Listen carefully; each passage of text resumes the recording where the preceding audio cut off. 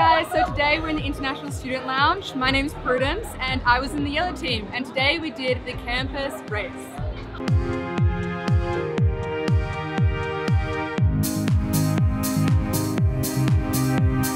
I would say the best part of today's event is actually you could meet new people.